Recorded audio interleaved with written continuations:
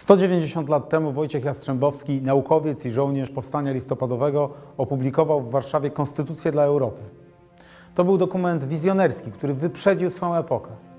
Pomysł na zjednoczenie Europy, który Jastrzębowski opisał, ziścił się 150 lat później. Ten projekt to Unia Europejska. Dlatego wspólnie z Fundacją My Obywatele Unii Europejskiej chcemy uczcić tę ważną rocznicę. Jako Fundacja My Obywatele Unii Europejskiej staramy się przybliżać myśl naszego patrona, Wojciecha Bogumiła Jastrzębowskiego. Choć powstała w 1831 roku, jest wciąż aktualna, głęboka, zbieżna z tym, jak my widzimy współczesną Europę, integrującą się Europę. Mamy świadomość, że kształt Europy wpływa na Polskę. Jest to zależność bardzo silna. Nie ma bezpiecznej polskiej wolności bez europejskiej jedności. To właśnie chciał nam przekazać Jastrzębowski. W 190 lat po ogłoszeniu Konstytucji dla Europy Jastrzębowskiego chcemy przypomnieć kilka z jej artykułów. Posłuchajmy. Prawa narodowe stanowi naród przez swoich posłanników, czyli Sejm. Prawa zaś europejskie stanowi Europa przez swój kongres złożony przez wszystkich pełnomocników wszystkich narodów. Sprzeciwianie się ze strony władzy samowładnej przystąpieniu narodu do wiecznego przymierza upoważnia ten naród do uznania takowej władzy za nieprzyjazną sobie, za nieprawną i za obstającą przy barbarzyńskim krwiolewnym systemacie. Różnica religii i urodzenia nie będzie pociągała za sobą różnicy praw.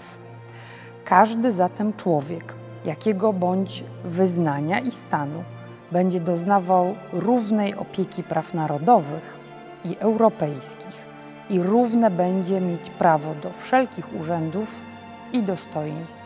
Odtąd nie będzie wcale w Europie krajów, lecz tylko narody.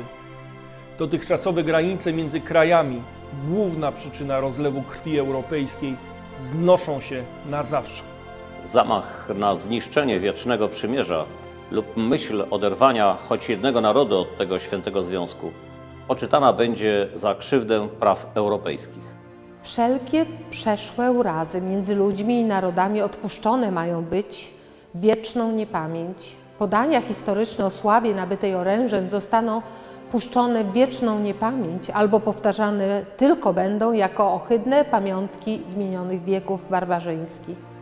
Dobycie oręża w innym celu, a nie w obronie praw i bezpieczeństwa Europy, będzie pociągała za sobą wieczną hańbę i przekleństwa narodów. Nadto karana ma być najsurowiej prawami europejskimi.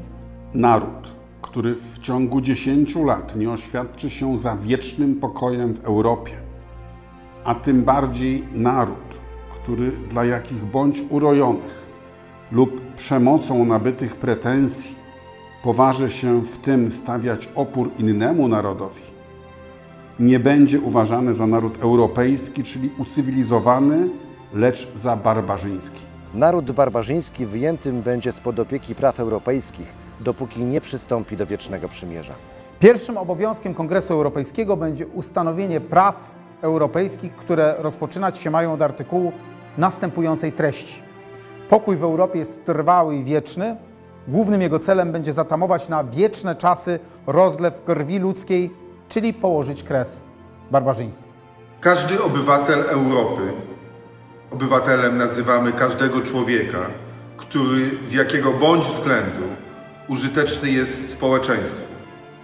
Na wezwanie Kongresu Europejskiego staje się żołnierzem, nie mogącym być do niczego więcej użytym, tylko do bronienia praw Europy i jej bezpieczeństwa.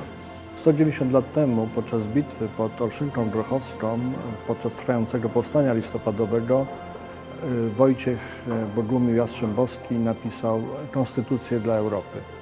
77 artykułów, które w sposób wizjonerski mówiły o tym, że aby przerwać te wyniszczające wojny, trzeba stworzyć y, wspólnotę europejską. Te zasady są trwałe do dzisiaj. Gdyby nie wspólna Europa, to nie przetrwalibyśmy kilkadziesiąt lat w spokoju i dobrej współpracy. Warszawa także włączy się w świętowanie roku Jastrzębowskiego. 9 maja, w Dzień Europy, wraz z Domem Spotkań z Historią, otwieramy w Warszawie plenerową wystawę Pierwsza Konstytucja dla Europy. W ten sposób chcemy przypomnieć nie tylko o ważnej historycznej postaci jej dorobku, ale też o tym, że wspólna zjednoczona Europa to naprawdę projekt, o którym w Polsce marzyliśmy od pokoleń. Projekt, który był marzeniem tych samych ludzi, którzy marzyli również o polskiej niepodległości. Bo zjednoczona Europa to najlepsza gwarancja bezpieczeństwa i niepodległości Polski.